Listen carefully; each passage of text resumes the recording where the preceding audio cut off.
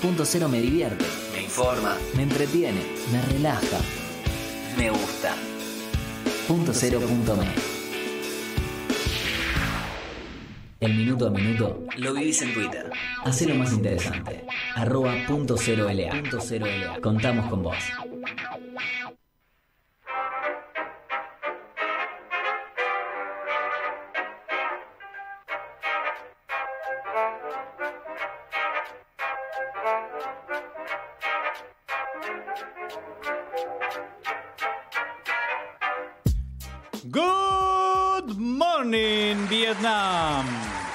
Desde Buenos Aires y para todos los mundos, si quieren. Este es el Noti Cero, edición número 15, si no recuerdo mal, si no me falla la memoria y si el productor me acompaña, lo mismo que la cámara. Damos inicio a esta nueva jornada este viernes 11 de junio, ya entrados en la mitad del año, para dar inicio a esta nueva jornada llena de noticias y obviamente hay que comenzarlo bien arriba, así que lo primero que le vamos a decir es que vayan ya mismo al Instagram de Punto Cero a elegir las canciones que levanten este viernes. La premisa siempre es la misma. El viernes hay que levantarlo, se acerca el fin de para un amplio sector de la sociedad y por eso vamos a elegir música que nos levante la jornada. En el día de la fecha vamos a dedicarle el programa especialmente a Franco Rivas, conductor de Punto Aparte, que pasó unos días fuleros, vamos a decirles así, ¿eh? y ya está mucho mejor, así que nos alegra, alegra a toda la comunidad de la radio y por ende a todos sus públicos también para que esperen ansiosos y ansiosas el regreso de Punto Aparte, un programa muy lindo los sábados de 15 a 17. Mi nombre es Diego González. Ahí, no hay efecto, ¿no? Nunca en el, en el Noti no tirábamos el Berman, ¿no? En general, ¿no? Yo lo intenté, pero es una faceta más seria tuya. Como No, que dijiste no, que no importa. No, si hay, hay programas muy serios y cada vez que me No. nombran tiran el Berman. Sí, no, lo, Bueno, lo- pero- por ahí lo podemos implementar. Ve- Dale, vemos, dale. Cómo, vemos cómo se da. Que salga natural, Naila. Que sea natural. Que fluya. Que fluya. Dejemos que fluya. Bueno, la voz del otro lado no solo habla, sino que además opera todos los viernes el Noti de 10 a 12. Naila Lamberto, así que le mandamos un abrazo enorme. Al final, te- ¿con qué te convencimos? ¿Qué estás tomando? Cafecito. Muy bien. Eh, para la interna es, Naila quería tomar mate, la convencimos, no, quería tomar té. Le dijimos, está para un mate, con bizcochito. Y dice, ah, bueno, entonces voy a tomar mate. Y dije, ah, pero preparé café. Y se fue a tomar Y un ya café. estaba listo. Está bien, una Había fuerza de voluntad tremenda. Así que bueno, pero Naila no es la única que está del otro lado trabajando, sino que también, como dije recién, y lo vamos a volver a saludar, Nahuel Isela en la producción general del Noti. Ahí está a full gestionando notas, entrevistas, un montón de cosas. Y también del otro lado del mostrador, trabajando con las redes sociales, ella, Victoria Duclos Sibuet, que también ya mismo está seleccionando y eligiendo de los mensajes que llegan las canciones que van a sonar en este Noti del viernes. Recuerdo, eh, pueden votar, elegir, comentar ahí en el Instagram las canciones que levantan este viernes, pero al mismo tiempo también les contamos que tenemos un WhatsApp de la radio que es, anoten, si, a ver, ya lo tienen agendado o pueden verlo en el corte, eh, en la placa de la TV, es más 54911, el número es 7360 4907. Ahí pueden dejarnos comentarios, preguntas, consultas, sugerencias, denuncias, lo que quieran. El, eh, selección musical, lo que se les antoje. Repito el número: 7360 4907. Y nos pueden escuchar a través de un montón de plataformas. No solo pueden vernos en vivo en este momento a través de Facebook, en Facebook Live, que además, como me gusta hacer mención, para cualquier dificultad de, de la escucha, lo que tienen es un subtitulado inmediato, simultáneo y de calidad, así que pueden ir al Facebook Live para ver toda la programación de Punto Cero, incluso el Noti ahora, con subtitulado inmediato. Eso no es todo, porque también tenemos un live en YouTube. Pueden vernos a través de YouTube de nuestro canal en Punto Cero, el Noti, toda la programación. También pueden vernos a través de Periscope. Pueden escucharnos en plataformas como Streama. Pueden escucharnos apenas termina el Noti, todo, todo completito en Mixcloud. Y pueden vernos obviamente a través de punto cero punto me barra TV. Pero además pueden escuchar la radio. En este momento si ponen perumira.org en Perumira, nuestros queridos hermanos de Perú, que todavía no está chequeado, corroborado quién es su presidente. ¿eh? Así que bueno, perumira.org pueden escuchar la programación de la radio. También en punto cero punto B barra Miami. ¿eh? si suena el comandante, ¿por qué no puede sonar el Berman? El comandante que nos acompaña todos los días, todo el tiempo, así que pueden poner punto cero punto me barra Miami y pueden escuchar toda la programación de la radio. Espero no olvidarme de ninguna otra plataforma, si no hay gente que ahí enseguida me dirá, Diego, te olvidaste de decir tal cosa. Ah, sí, Twitch, por ejemplo. Twitch, uno que es fan de Twitch y sin embargo me estaba olvidando. Bueno, vamos a empezar a, darles un poquito de los contenidos que vamos a tener en esta jornada. Vamos a tener la palabra de Agustina Vázquez, sí, de la cantera deportiva que especialista en tenis nos va a contar la actualidad de las instancias decisivas del torneo de Roland Garros en Francia, ¿eh? uno de los Grand Slam. También vamos a eh, entrevistar a Manu Mireles de Mocha Celis sobre la ley de cupo laboral trans, el bachillerato y, por qué no, también vamos a tener la participación de Victoria de Closibel para hablar de documental al respecto de, esta, de estas minorías y esta inclusión que se va dando y se va abriendo ¿eh? para hacer un mejor presente y aún más mejor futuro. Eh, me llega un mensaje que dice que me olvidé del ICQ. Nunca tuve ICQ. Nunca tuve ICQ. Ahora aprovecho antes de, empezar con los contenidos, le voy a preguntar algo ahí a la mesa del otro lado. Bueno, como dije recién, vamos a tener a Agustina Vázquez, a Manu Mireles. También vamos a hablar con Amanda Martín de Ademis. Justamente hay un paro de 48 horas de docentes y una caravana al Ministerio de Educación. Vamos a hablar con ella al respecto. Vamos a tener la opinión, la voz del teacher del balompié, de Federico Marchi y un montón de otros contenidos dentro de estas dos horas que ya comenzamos en el Noticero. Ahora sí, que tiró la primera piedra José Tripodero de Cine Continuado, voy a preguntar. ¿Tuvieron alguna red social de esas que ya no se usan? Ahí del otro lado, Nahuel dice que sí, ahora le vamos a preguntar a, que opinen. Vicky dice que también. ¿Qué tuvieron? Dicen por acá, Fotolog. ah, el Metroflog. Yo también. ¿Qué? Metroflog.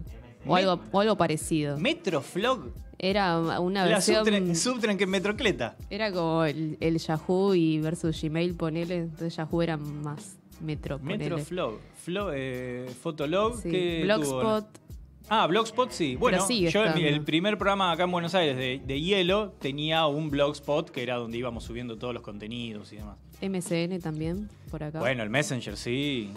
¿Cómo me clavaban? Aparecían conectados, iba a chatear y me clavaban como desconectado. ahí empezó el, eh, ahí, estaba toda la frustración. No, yo tuve MySpace. Ah, es más musical ese, ¿no? No, era, lo mismo que todo el resto. Claro. Ah, bueno, ahora vamos a, preguntar ahí del otro lado a oyentes, eh, a los públicos, a ver qué plataforma tuvieron de esas que ya no abundan. Eh, Nahuel, ¿qué tuviste? ¿Vos dijiste ya cuál tenías? ¿Cuál tenía? Fotolog. Ah, él también. Un anime. Ah, no. ah bueno. ¿No? Solo MSN. Ah, él tenía MSN. Bueno, está bueno, es bueno recordar. Yo nunca tuve ICQ, que era más o menos lo mismo que el MSN, pero con una interfaz más pedorra. Así lo vamos a decir. Pero bueno, vamos a empezar a hablar en serio, porque hay un montón de contenidos en esta mañana, más allá de que esperamos ahora cuáles eran sus plataformas, redes sociales o lo que fuera que ya no, ya no hay. ¿eh? Por ejemplo, tener una BlackBerry. ¿Quién tiene hoy una BlackBerry? Nadie, no sé. no se puede. No, no, no, creo que había regresado, algo por el estilo. Sí, de hecho, un amigo mío que vive en Dubai tenía hasta no hace mucho una BlackBerry que era el último modelo que estaba muy bueno. Ah, Pero bueno, nada, eso. Bueno, vamos a hablar entonces de actividad deportiva. Se están jugando las instancias decisivas de Roland Garros, del Roland Garros en Francia. Y para eso tenemos nuestra especialista Agustina Vázquez, que nos va a contar todo lo que está definiendo este certamen, esta competencia 2021, en un contexto muy particular. Así que desde ya le damos inicio a la palabra de Agustina, que nos va a contar, nos va a hacer una intro sobre los semifinalistas de la edición de este año. Hola, hola a todos mis compañeros de Punto Cero, acá Agustina Vázquez, corresponsal de tenis, increíble, he vuelto. Y en esta ocasión les traigo para que analicemos el Grand Slam que se está jugando en este momento que es Roland Garros. Un Roland Garros atípico aún en contexto de pandemia. Parecía que, la pandemia iba a quedar en el 2020, pero no, aún sigue. Y, bueno, nos trae esto, ¿no? Partidos con público reducido y demás, muchas medidas que se han tomado para poder prevenir el COVID. Em, pero bueno, en este caso lo que llama la atención, más que el contexto, es la increíble semifinal que se van a dar hoy. Son dos semifinales de infarto, la verdad. Por un lado tenemos a Rafa y Nole, dos campeones de, de toda la vida. La verdad es que han ganado todo. Entre ellos dos y Roger se han llevado aproximadamente entre 53 Grand Slam. La verdad es que sí, que han ganado todo y es una final que llama la atención. Y por el otro lado tenemos a Alexander Zverev y, y Tsitsipas, el griego Stefano Tsitsipas, que serían la nueva era. La nueva era del tenis, esos nuevos tenistas que se han ido metiendo en el ranking y que han logrado eh, desbancar en muchos en muchos torneos, en muchos partidos, a esta vieja camada, ¿no? A esta vieja camada de, de tenistas que siempre nos tenía acostumbrados a los triunfos y bueno, ahora los vemos competir contra estos jóvenes, viendo la diferencia de edad y demás. En el caso de Tsitsipas está número 5 en el ranking y Esbreve está 6. Rafa está tercero y Nole está primero. Están ahí, es el top, casi diría top 5 no es top 5, bueno, por Esberet que está sexto, pero eh, son dos semifinales de infarto, la verdad. Bien, Agustina nos contó de alguna manera la intro para conocer las instancias decisivas de Roland Garros, estas semifinales.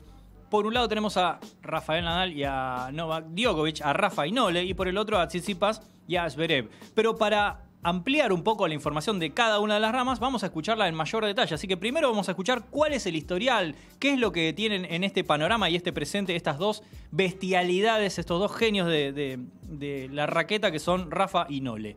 Vamos a ir analizando un poco cada una.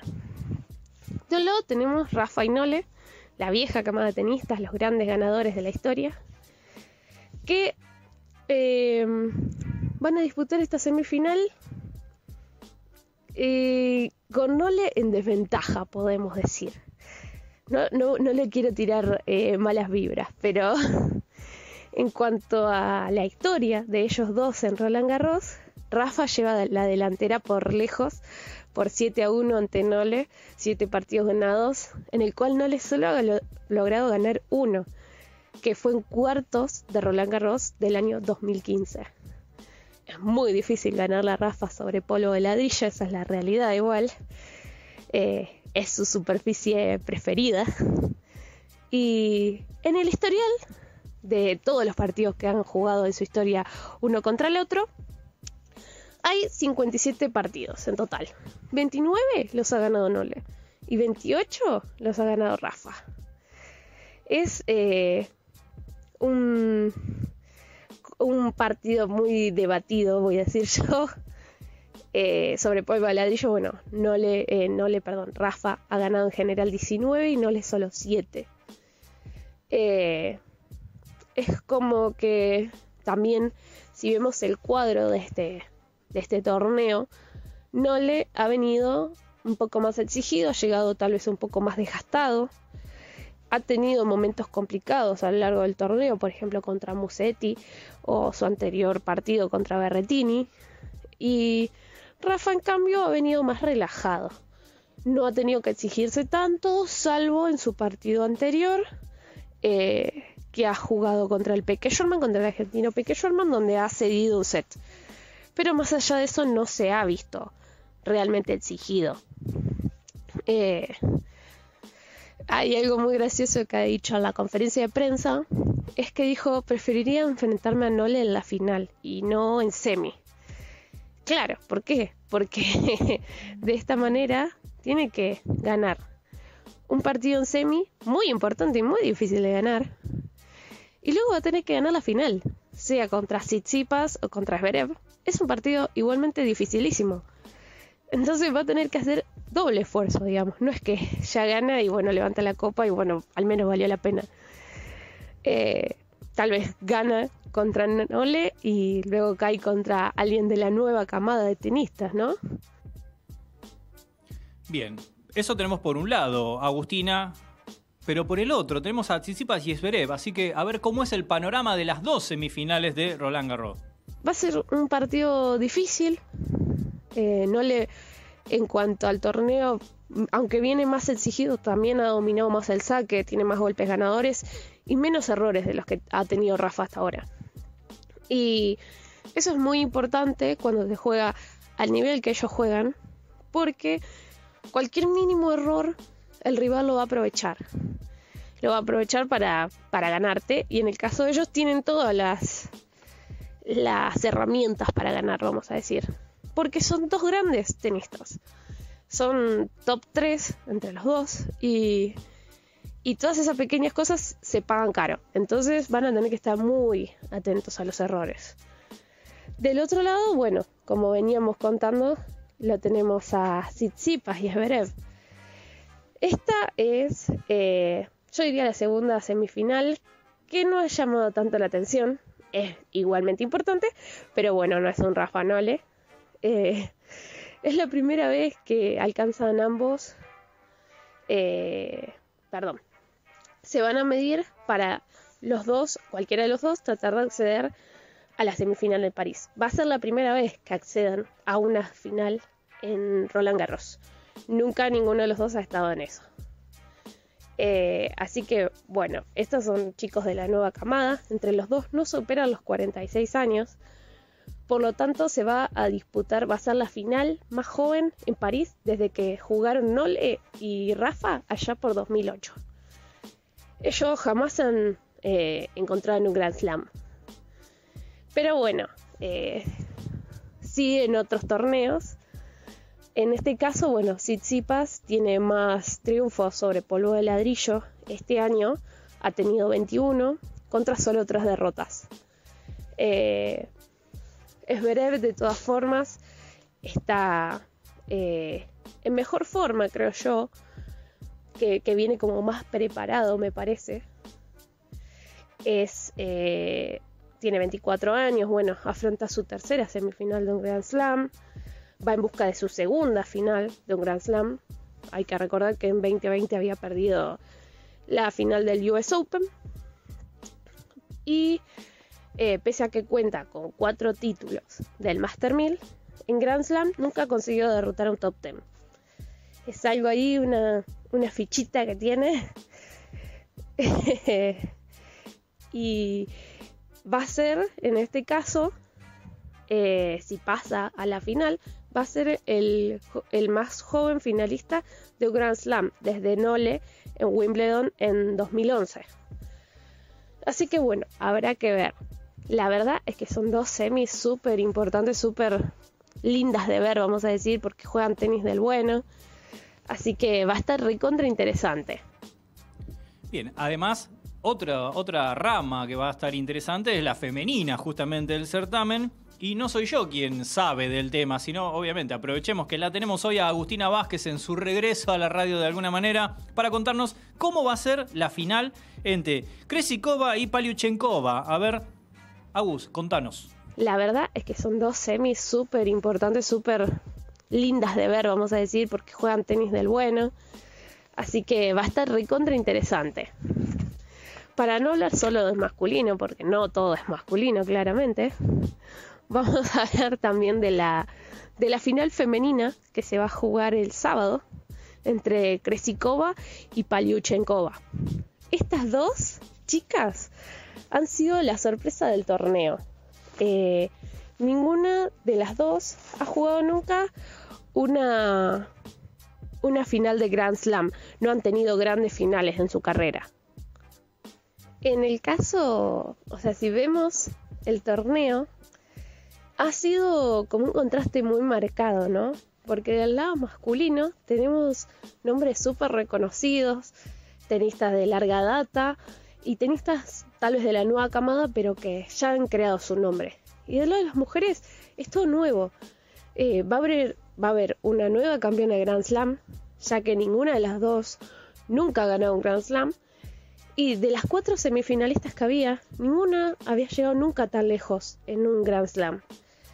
Entonces es como algo eh, muy marcado. En este caso a mí me alegra mucho, la verdad es que, que haya una nueva campeona. Que todas estas tenistas puedan ir creando su nombre.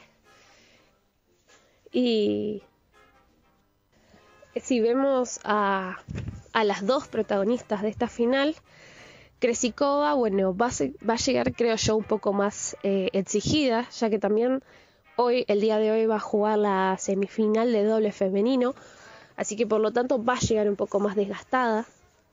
En el caso de Pauliseco, perdón, Paliuchenkova, eh, ella, bueno, está en el mejor momento de su carrera. Ha llegado a ser número 13 del mundo, pero la verdad es que cuando entró a este Grand Slam no había llamado la atención, no estaba en el radar de, las candidatas a llegar a la final, porque nunca había logrado superar cuartos de final. De las seis veces que lo había jugado, nunca había logrado superarlo. Entonces no había llamado realmente la atención. En esta instancia, bueno, ya las dos han logrado llamar bastante la atención, por lo tanto que en el femenino va a haber una nueva campeona de Grand Slam. Eso es muy importante. Pasando al doble femenino que mencionaba hace, un momento, eh, una de las semifinales va a ser entre Linet y Pera contra Kresikova, como decía, y Siniakova. Y la otra va a ser contra Witek y Mateo Sanz, contra Begu y la argentina Nadia Podoroska. Nadia que tanto ha dado que hablar durante el 2020, que ha sido probablemente el mejor año de su carrera, donde se ha dado a conocer al mundo y ha logrado grandes cosas. En este caso, bueno, en el torneo individual no le fue tan bien, pero en el dobles ha logrado llegar hasta la semifinal. En el caso de que gane hoy, bueno, va a acceder a la, a la final y eso es algo muy importante. Del lado masculino tenemos la final de dobles el sábado, que va a ser entre Gol Golubed y Bublik contra Mahut y Herbert. La verdad es que son partidos increíbles, tanto los que se van a dar el día de hoy entre Rafa Nole y Tsitsipas y Esberev, como la final mañana en el femenino, que también hay que verla claramente, porque el tenis femenino es buenísimo y porque va a haber una nueva campeona. Eso es mucho, muy importante. Y bueno, el doble femenino también, porque hay una Argentina. Así que son grandes partidos. Roland Garros viene siendo un torneo increíble. Y, y, habrá que esperar para ver qué pasa hoy. Lo que sí está asegurado es que la final va a ser entre alguien de la nueva camada y de la vieja camada. Así que vamos a ver quién se queda con el título. Muy bien. Esa es la información de nuestra querida Agustina Vázquez con todo lo que tendrá este escenario en, esto, en este día, en estos días. ¿Por qué? Porque tenemos por un lado semifinales masculinas, por otro lado finales femeninas, por otro lado también semifinales femeninas de dobles. Tenemos de todo, así que el Grand Slam tiene cobertura y esa es Agustina Vázquez, que vuelve de alguna manera también al vivo a la radio de Punto Cero después de, varios, de varios días. Así que bueno, vamos a ir al flash en unos minutos. Antes vamos a recordar un poco la información que tiene que ver con el coronavirus en nuestro país y a nivel global. ¿Por qué? Porque Argentina superó los 4 millones de casos totales de coronavirus. ¿eh? 4.066.156 casos totales en nuestro país durante este año y medio de pandemia.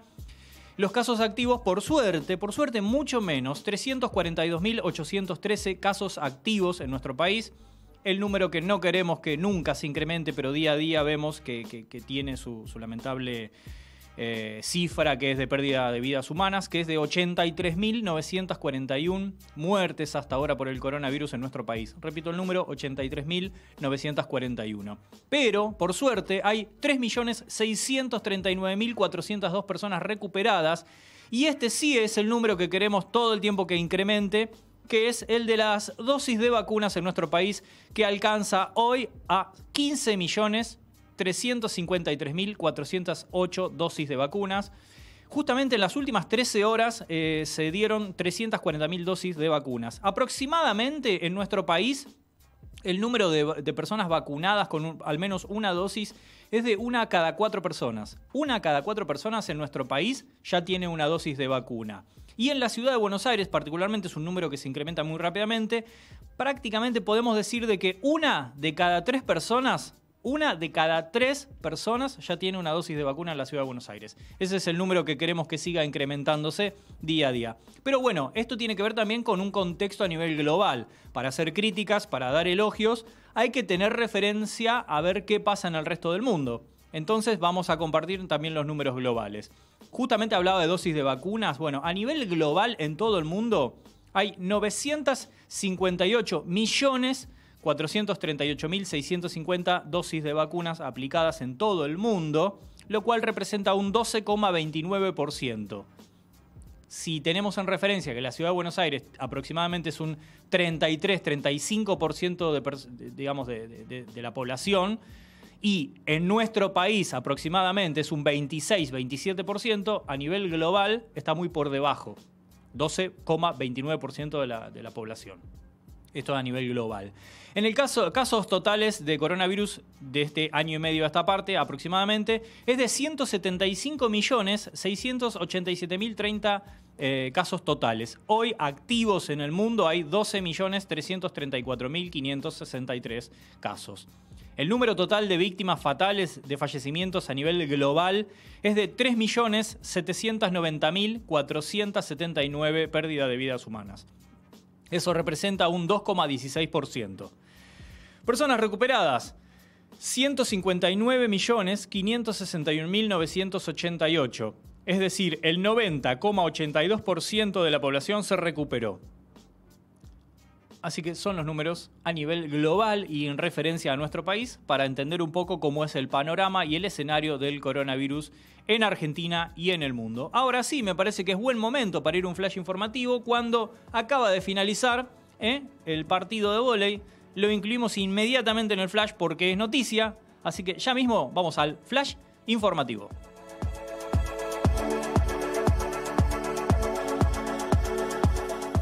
Más voces de verdad. Esta madrugada se aprobó el proyecto para que la paridad de géneros en medios de comunicación sea ley. No se trata de que haya más mujeres, que por supuesto debe haber, sino que haya una perspectiva de género, dijo Pablo Carro, titular de la comisión. Consenso y zonas frías. La Cámara de Diputados convirtió en ley el consenso fiscal para las provincias y la ley de zonas frías. La primera permite modificar ingresos brutos y no tomar deuda pública, y la segunda, bajar el valor del servicio de gas en zonas de bajas temperaturas. Se extienden las medidas. Este viernes vence el decreto presidencial para mitigar la pandemia en el país. El DNU se va a renovar con los mismos parámetros que se aplican hasta ahora, adelantó el jefe de gabinete, Santiago Cafiero. Santiago estricto. La capital chilena tendrá un nuevo confinamiento total debido a un rebrote de la pandemia de coronavirus previo a las elecciones del domingo. El país trasandino contabiliza casi un millón y medio de casos totales, más de 30.000 muertes y 20 millones de dosis aplicadas. Europa mueve la bola. Este viernes comienza la nueva edición de la Euro con el partido inaugural entre Turquía e Italia. El vigente campeón, Portugal, debuta el martes ante Hungría.